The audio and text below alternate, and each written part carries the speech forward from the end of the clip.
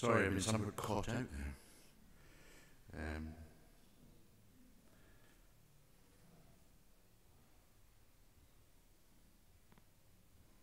well, good morning, everyone.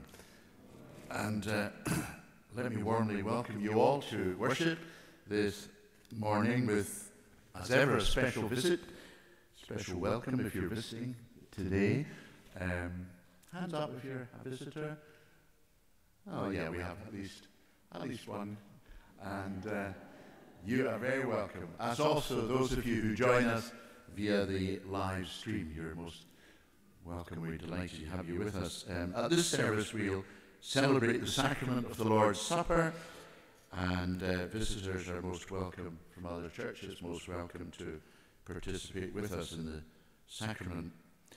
Um, at the close of the service, a congregational meeting will be held here in the sanctuary immediately after the service, and for that reason, tea and coffee will not be served downstairs today. But I'm going to invite uh, our session clerk, if he's around.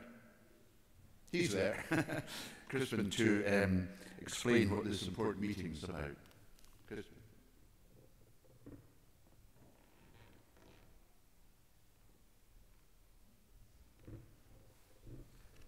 Thank you, Angus, and good morning, everybody.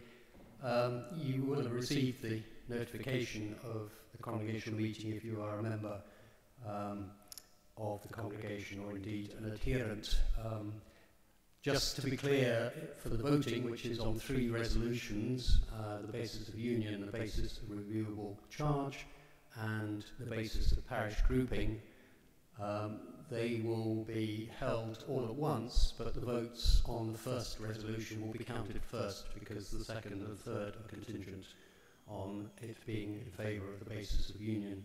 Um, our presbytery representative at the meeting, who's here today, Rich Cradell, will provide uh, further instructions.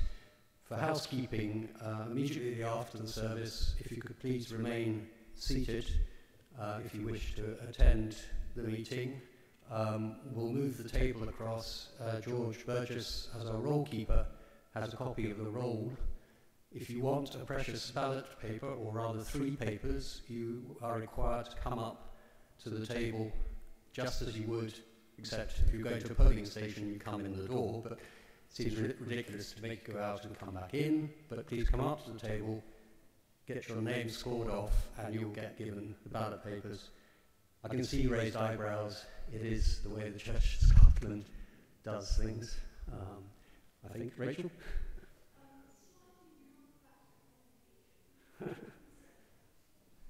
Slightly bureaucratic is, uh, is uh, one interpretation of it. Um, first of all, I'm required to read a citation to the congregation yet again. It's different to the last one. And it will be different next week when I read it next week, hopefully. So, pending the meeting of this congregation after the service and approval of the basis of union with the congregation at Greenside, a basis of reviewable charge for the united congregation, and a basis of parish grouping with the congregation of Broughton St Mary's, intimation is hereby given that at a meeting to be held in Palmerston Place Church on Tuesday, 7th November 2023, the Presbytery of Edinburgh and West Lothian will take up consideration of the report of the Deployment Committee when it will recommend that the Presbytery approve a basis of union for Greenside and St Andrews and St George's West, a basis of reviewable charge for the United Congregation, and a basis of parish grouping with the congregation of Broughton St Mary's. The congregation are hereby cited to attend for their interests on 7th November 2023 at 7.45pm in Palmerston Place Church. In the name and on behalf of the Presbytery of Edinburgh and West Lothian Deployment Committee, by order of the Presbytery of Edinburgh and West Lothian, signed Dr. Hazel Hasty, Presbytery Clerk. That's the official business, but equally officially and importantly, we're coming to the end today of Angus's locum ministry over the past 10 months. When you initially came to us, I think you didn't quite envisage it might be 10 months, but uh, apparently you so enjoyed yourself that it has been 10 months. Um, I hope you'll permit me to say just a few words to you. Angus, we've been truly blessed to have you as our local minister for almost a year. When you bounced Tigger-like into our church life at the beginning of January, you found us in a state of flux and uncertainty, to put it mildly. We were in urgent need of a calming presence, a steady pair of hands. What you have gifted us over these past 10 months is that and far, far more.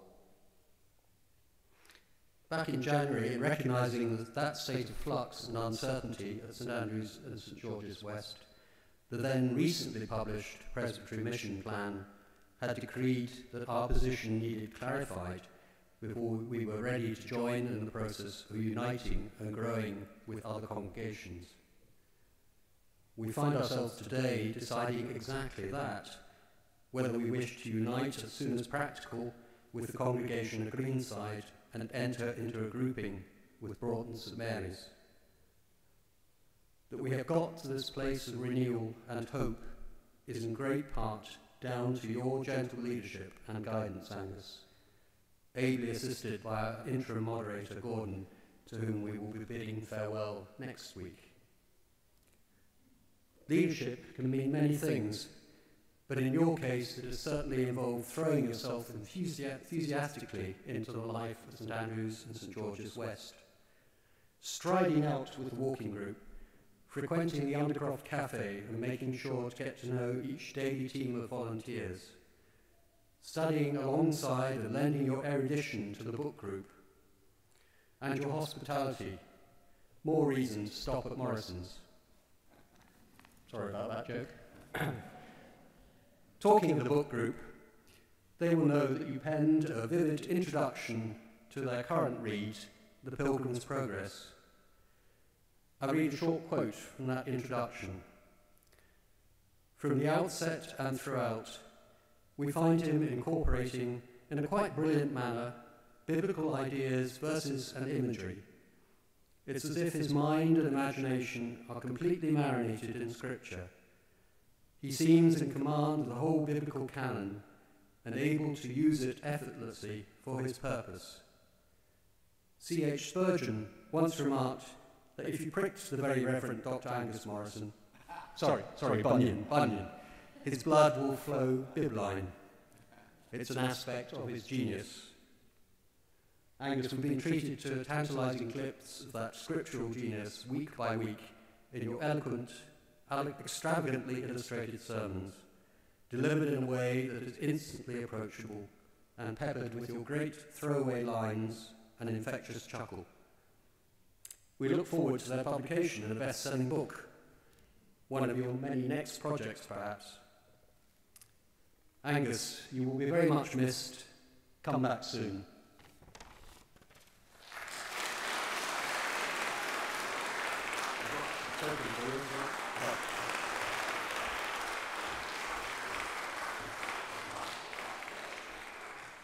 Crispin, thank you so, so much for that kind and generous uh, statement. And um, I'm rather overwhelmed by what you said. I, I, I'm not usually speechless, but I'm speechless now. Thank you very, very much. It's been an absolute delight for me to have been with you over these months. It's been one of the happiest of times in ministry for me and, and getting to know you wonderful people has been such a privilege. So thank you for having me. And um, am I going to say it now? um, a little development that um, Crispin didn't mention. Um, he wants me to mention it, and that is that from the 1st of February next year, this may either please you or appall you. Uh, from the 1st of February next year, I shall resume my role here as locum for an indeterminate period. And as you see,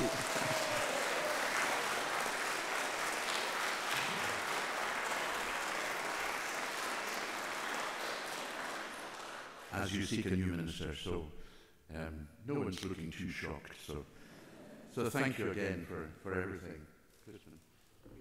Oh. necessarily always get reading it. Thank you so much. Well, thank you all very, very much indeed. That's so kind.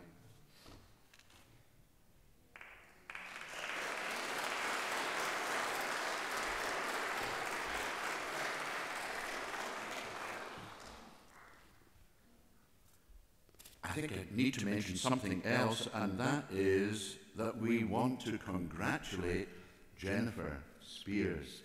Um, you'll see from the notes, if you've read them, Jennifer um, has won at the Royal National Mod An Comunn Gàidhealach's coveted Sarah Weir Memorial Trophy in the solo singing Mullin Iona mixed competition. That is a remarkable achievement. She,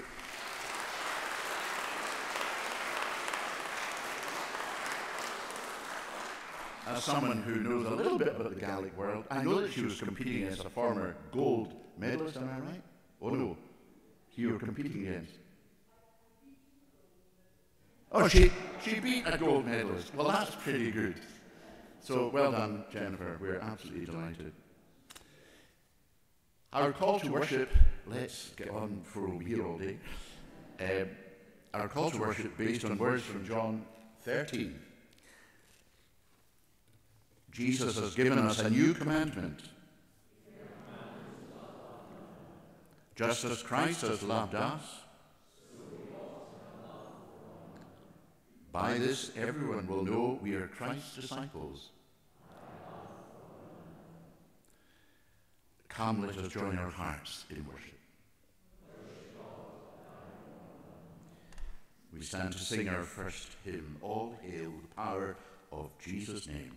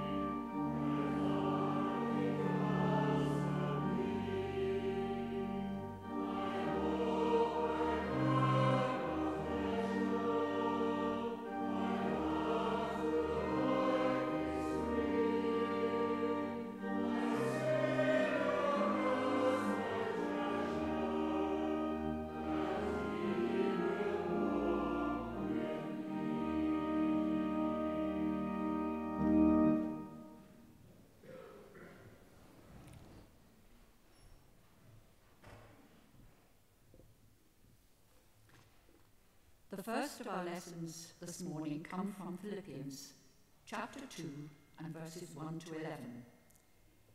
Imitating Christ's humility. If then there is any encouragement in Christ, any consolation from love, any sharing in the Spirit, any compassion and sympathy, make my joy complete. Be of the same mind, having the same love, being in full accord and of one mind. Do nothing from selfish ambition or conceit, but in humility regard others as better than yourselves. Let each of you look not to your own interests, but to the interests of others. Let the same mind be in you that was in Christ Jesus, who, though he was in the form of God, did not regard equality with God as something to be exploited, but emptied himself, taking the form of a slave, being born in human likeness, and being found in human form, he humbled himself and became obedient to the point of death, even death on a cross. Therefore, God also highly exalted him and gave him the name that is above every name, so that the name of Jesus every knee shall bend in heaven and on earth and under the earth, and every tongue should confess that Jesus Christ is Lord to the glory of God the Father. Amen.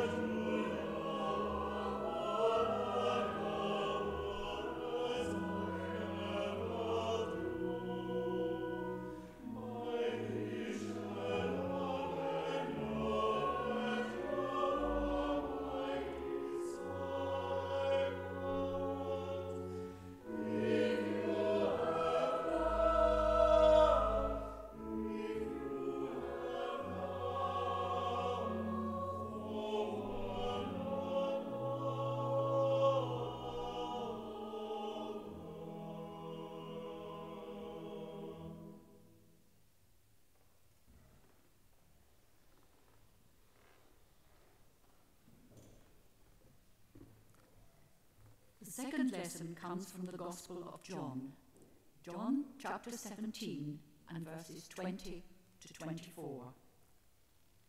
Jesus' prayers for his disciples. I ask not only on behalf of these, but also on behalf of those who will believe in me through their word, that they may all become one. As you, Father, are in me, and I am in you, may they also be in us, so that the world may believe that you have sent me. The glory that you have given me, I have given them, so that they may be one as we are one.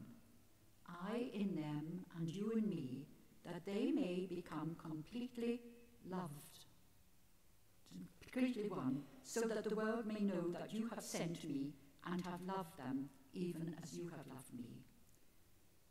Father, I desire that those also whom you have given me may be with me where I am, to see my glory which you have given me, because you loved me before the foundation of the world. Amen, and thanks be to God.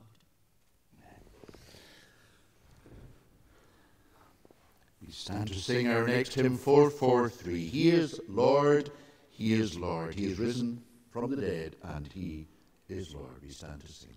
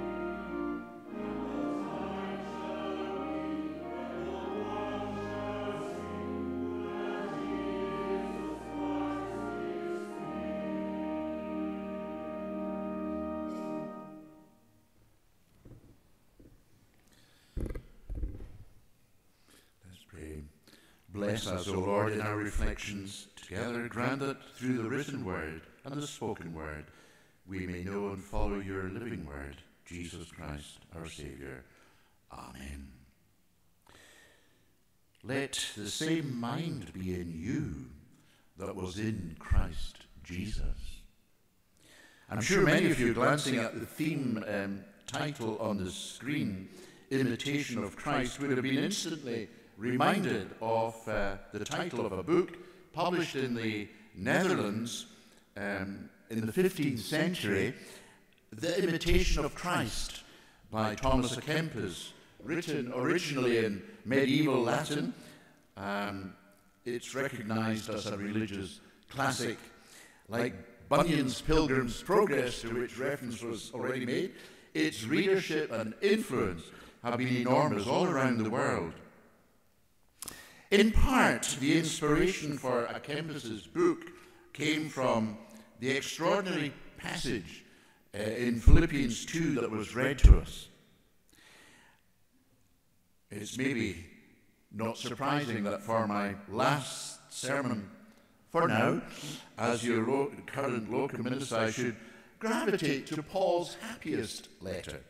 I found these months with you both happy and fulfilling. And again, thank you so much for all your kindness and your patience and your encouragement. As I say, Philippians is easily the happiest of Paul's letters. It may just be the happiest book in the Bible.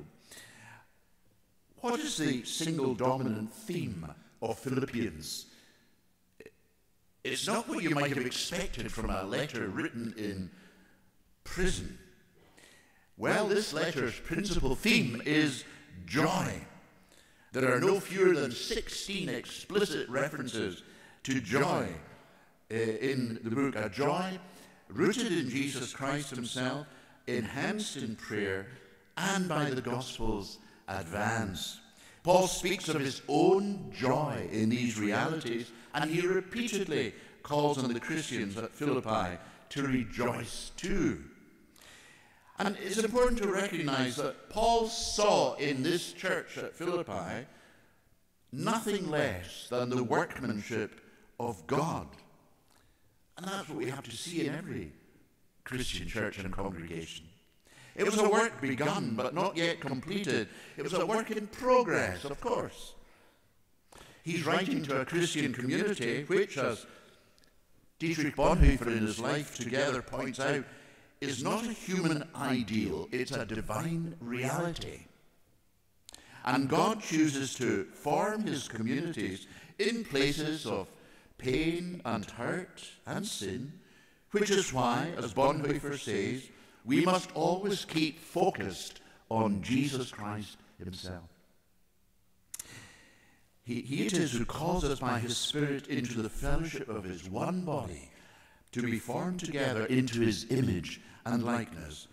In terms of the current moderatorial theme, the church is meant to offer the clearest possible manifestation of the meaning of Ubuntu, that uh, South African term. I am because you are. Paul's great desire is to deepen the Philippians' joy, and he sees this unity for what it is a negative, life quenching, joy undermining force.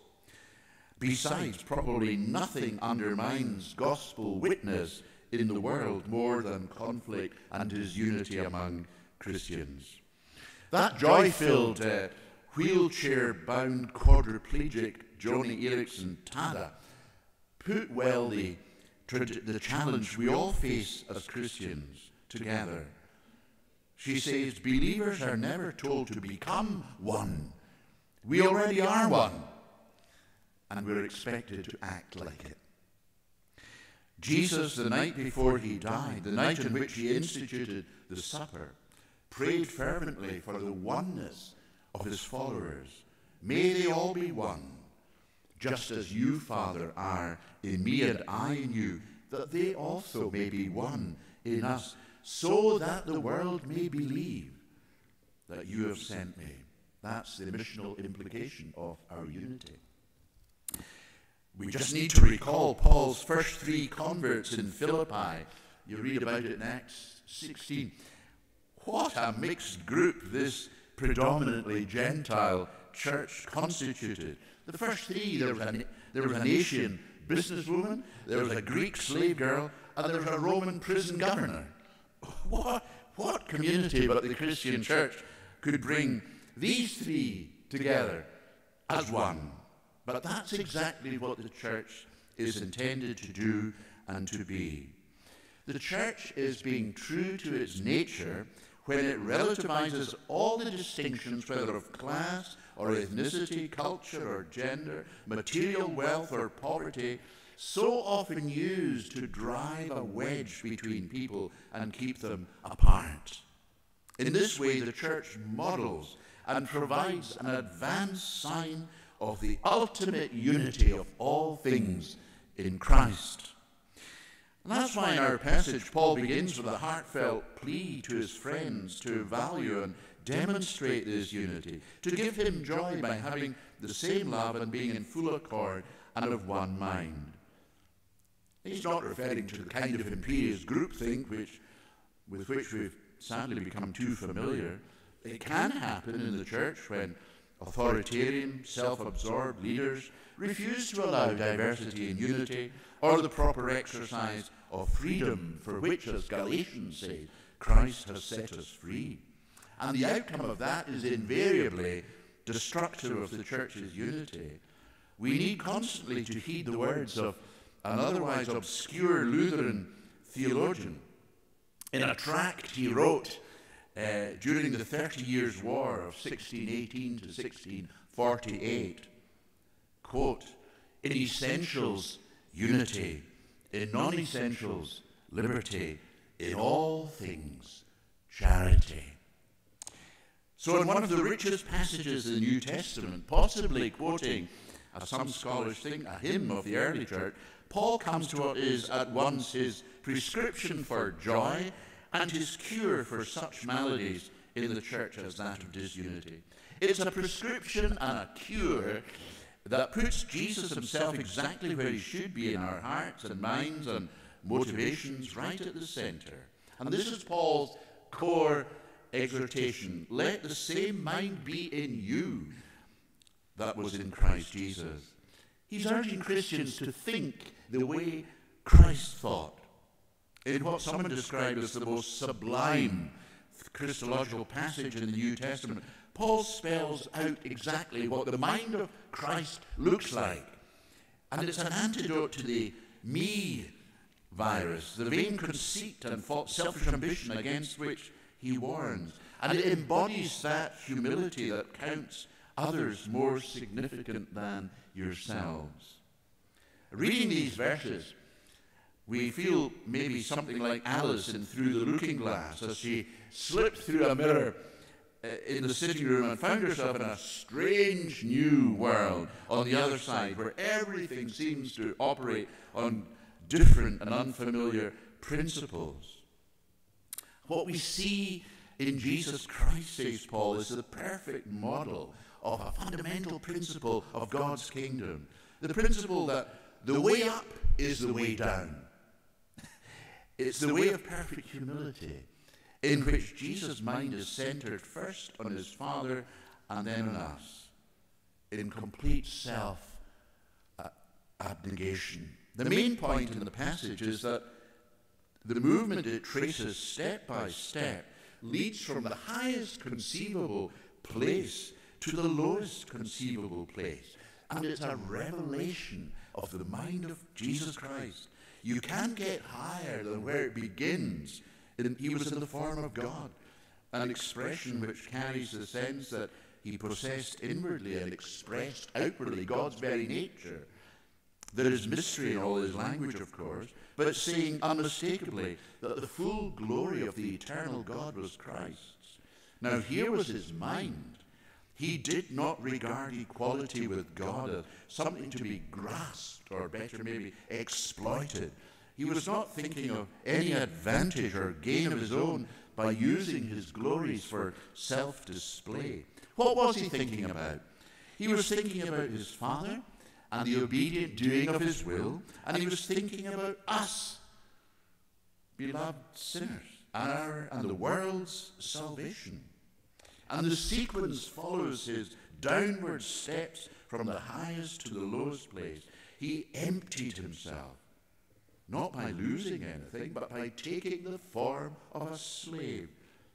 His mind was not to be served, but to serve, and in the very humblest possible sphere of service. Here it is explicitly born in human likeness, found in human form, he humbled himself. The lowliest meekness and the highest majesty in perfect harmony in Jesus Christ. He became obedient to the point of death, even death on a, a cross, a form of punishment reserved for the lowest of the low, like slaves and brigands. Awe, wonder, and praise are the responses we should feel as we touch this holy ground where the God we worshipped has revealed himself to be the God of self giving, self emptying love. Between these two poles, being in the form of God and the death of the cross, there is a downward journey of inconceivable distance and depth. Vividly dramatized in that upper room scene, you recall it. Jesus got up from the table, divested himself of his outer robe, and furnished with a basin and towel, stooped down to wash his disciples' feet. But for Paul, this is not just mind stretching and glorious theology. It's the very reason why beloved Christian people like Euodia and Syntyche should wrap up their squabbles. The reason why the only appropriate and acceptable route for all of us in the Church of Christ is that route chosen by our Master and Lord the path of humility, service, self renunciation, the route that leads to the great goal for which Christ prayed our unity for the sake of a lost and a fragmented world. Because in face of our Lord's incredible self giving love, we realize that love so amazing, so divine, demands my life, my soul, my all. And for choosing the humble way, our Lord Jesus was given the greater glory, indeed, the highest glory. One day at his name, every knee will bow and every tongue confess that Jesus Christ is Lord to the glory of God the Father. And Jesus Christ, we may be sure, will not be slow to honour his humble servants who have no higher ambition than to offer lowly service for his sake. Paul's joy and theirs in Philippi and ours today too, as followers of Jesus, is found in the unity of love, which is evident when each is prepared to embrace the mind of Christ, our Saviour. And we all know that in coming days we're all going to have to work more closely together than ever before in our various partnerships in the gospel. We cannot go it alone. We, and we have so much to receive from as well as to offer to one another. And in facing the challenges that do lie ahead, it's hard to think of a better place to start than these words of the Apostle Paul in our passage today.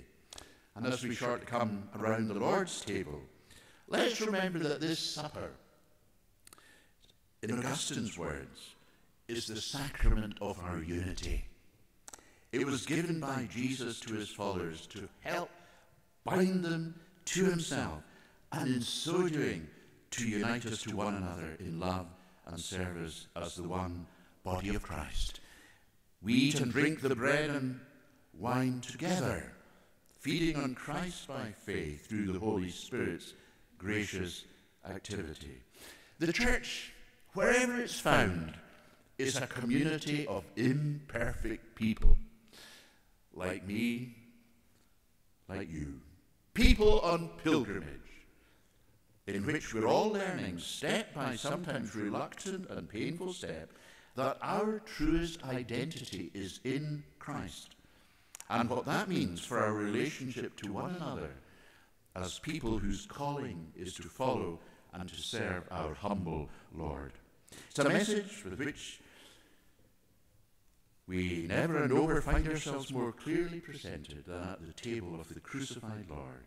Here we're summoned to follow him in identifying with the lowly and the needy and in giving ourselves away in humble service to a broken, suffering world. So doing, we truly honour the name that is above every name. Let the same mind be in you that was also in Christ Jesus. Amen. We stand to sing our next hymn, 374 in the hymn book. From heaven you came, helpless babe.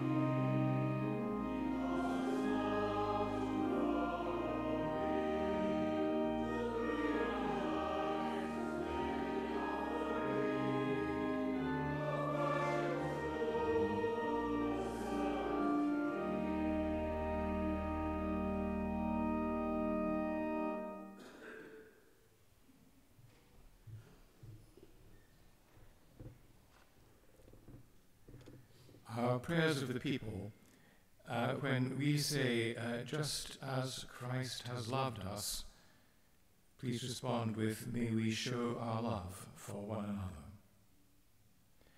Loving God, we thank you that you are a God of such abundance and gracious love. We lift before you a world deeply in need of love and care. We pray for all those caught up in the conflict in Israel and Palestine, that there may be an end to killing and suffering and hatred, that hostages may be released unharmed, that humanitarian aid may flow to everyone who needs it, that all those who have fled their homes seeking sanctuary may find protection and comfort, and that all parties may work together to find a way to a just and lasting peace. Just as Christ has loved us, may we show our love for one another. We pray for people in other parts of the world where there is war and the shadow of war.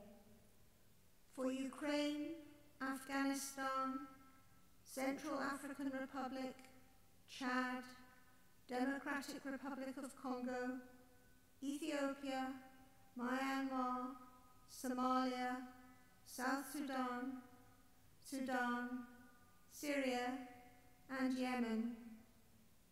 Help all those involved to see the humanity in one another and to seek peace with justice. Just as Christ has loved us, may, may we show our love for one another. We pray for people who are affected by natural disasters and the effects of climate change. Bless all relief efforts and help us to play our part in limiting climate change and in supporting the vulnerable to adapt to its consequences. We pray for all who suffer injustice and persecution, and for those who bear responsibility. Lord, all people are one in you. Lead us to seek and to strengthen the good in one another.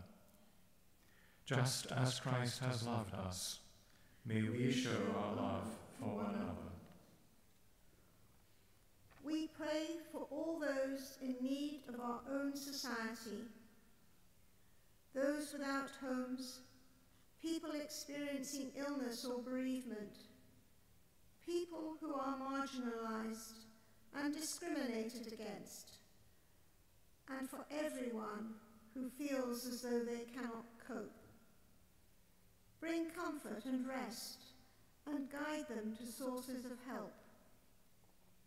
Just as Christ has loved us, may we show our love for one another. Finally, we pray for our own church and congregation. Guide us in the discussions and decisions we will face as we move towards union with other congregations. Help us to see the wider picture within and across denominations as we seek to act as the one body of Christ in the world and to spread the good news through word and action. We ask all these things in Jesus' name. Amen.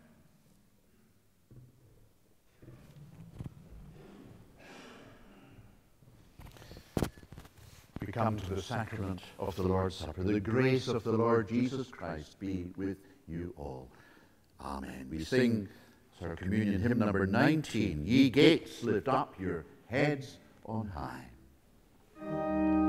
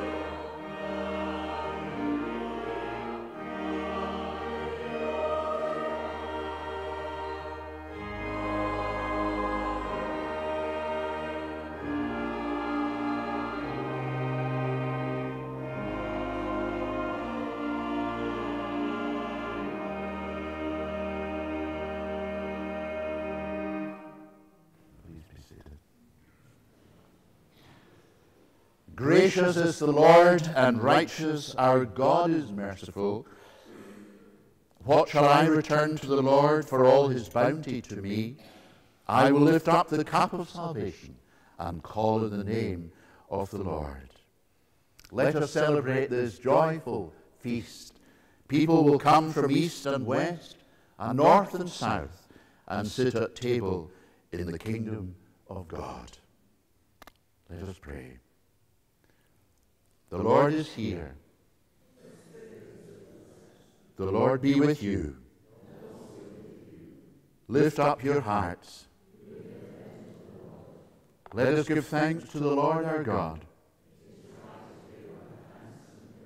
It is our duty and delight always and everywhere to give you thanks and praise, Almighty God, eternal and holy Father. You created the heavens and the earth. You made us in your image, and in countless ways you show us your mercy.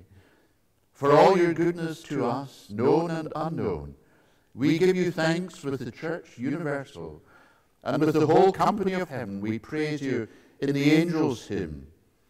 Holy, holy, holy Lord, God of power and might, heaven and earth are full of your glory. Hosanna in the highest. Blessed is he who comes in the name of the Lord. Hosanna in the highest. We bless you for the gift of Jesus Christ, born of Mary, eating with sinners, dying on the cross, risen from the dead by the presence and power of the Holy Spirit, bless and consecrate these gifts, so that the bread which we break may be for us a sharing in the body of Christ, and the cup which we bless a sharing in the blood of Christ, for the forgiveness of sins and the hallowing of all our lives and work. Receive us, O God, as together with our praise we offer to you our very selves. And as Jesus taught us, we say together, Our Father in heaven, hallowed be your name. Your kingdom come. Your will be done on earth as it is in heaven. Give us today our daily bread. Forgive us our sins as we forgive those who sin against us. Save us in the time of trial and deliver us from evil. For the kingdom, the power, and the glory are yours, now and forever. Amen. We do this as Christ appointed. On the night he was betrayed, he took bread, and after giving thanks to God, he broke it and said, This is my body which is broken for you. Do this, remembering me. In the same way, he took the cup and said, This cup is the new covenant sealed in my blood. Whenever you drink it, do it remembering me. Jesus, Lamb of God, Jesus, bearer of our sins, Jesus, Redeemer of the world. If the elders could come forward.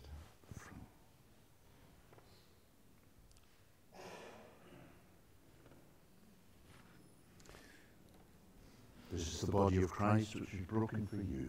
Do this, remembering him. Body of Christ broken for you. Body of Christ broken for you. Body of Christ broken for you. Body of Christ broken. Body of Christ broken. Body of Christ broken for you. Body of Christ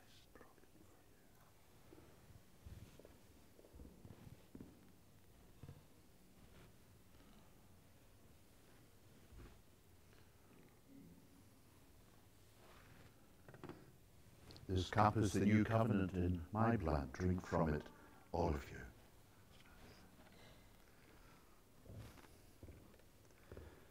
Blood of Christ shed for you. Blood of Christ shed for you. Blood of Christ shed for you. Blood of Christ shed for you. Blood of Christ shed for you. Blood of Christ shed for you.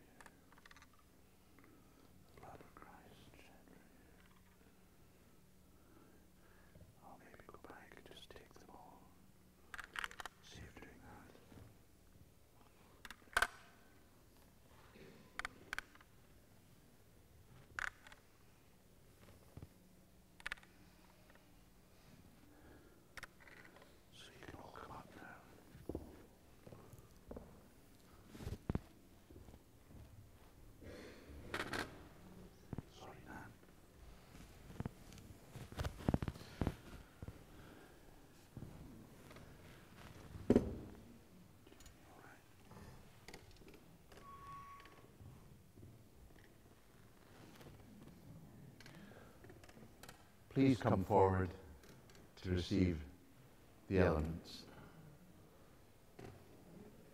So, will I take the, the bread? I take this, will I? We'll just wait and see. Yeah, we'll wait and see. Administration hookup. up.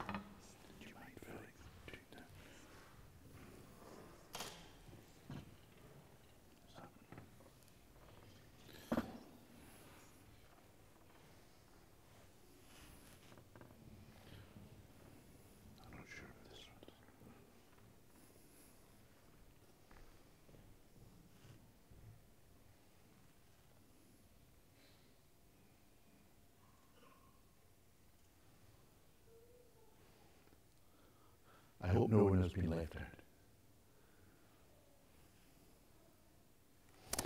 The peace of the Lord Jesus Christ be with you all.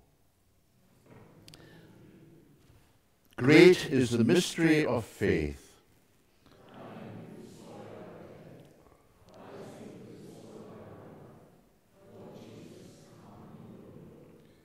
Remembering all the witnesses and martyrs of the faith, and in communion with our sisters and brothers who have fallen asleep in Christ. Gracious God, you have made us one with all your people in heaven and on earth. You have fed us and renewed us for service. Help us who have shared Christ's body and blood to be his faithful disciples, so that our daily living may be part of your kingdom, and our love be your love, reaching out into the life of the world. Amen. We sing as our closing praise the familiar words of the 23rd Psalm. Susan remarkably remembered that I really like it sung to the tune, The Bays of Harris. Favourite tune of mine, maybe partly because my ancestral roots are firmly planted there. So I'm grateful for being indulged with the tune. So we stand to sing to the Bays of Harris, the Lord's my shepherd, one.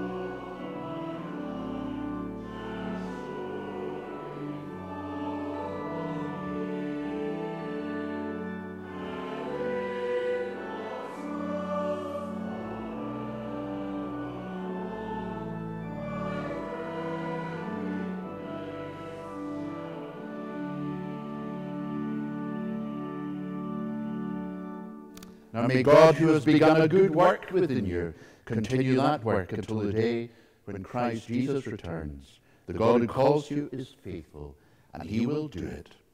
And now may the Lord bless you and keep you. May the Lord make his face to shine on you and be gracious unto you. May the Lord lift up his countenance upon you and give you peace now and evermore.